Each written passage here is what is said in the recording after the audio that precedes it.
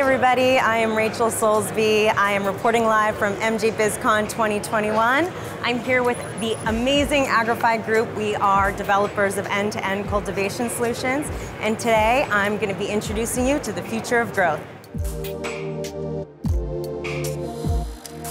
Hi, good afternoon. This is Ted from Agrify. The future of cannabis, what it means to me, is that the entire industry is moving towards more consistency. But I believe the industry is maturing and it's getting past just you know blowing out you know substandard flower. So I believe that the keys for a future of growth is going to be based on consistency and scalability.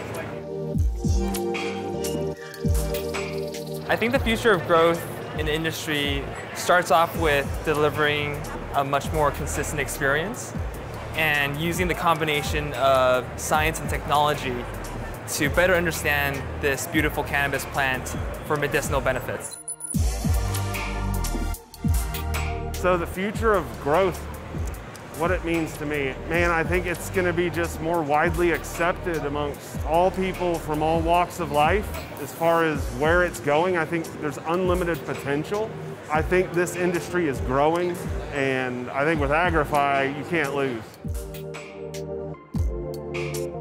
Future of growth, I think, is efficiency. Efficiency in all processes throughout all aspects. Labor, automation, conserving resources, and I think the end result is going to be better products.